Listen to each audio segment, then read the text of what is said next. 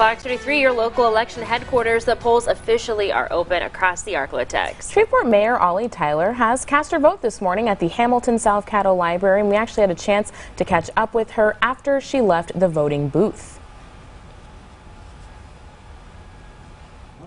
Today, I want to thank uh, the citizens of Shreveport for just giving uh, me and my team the opportunity to serve them.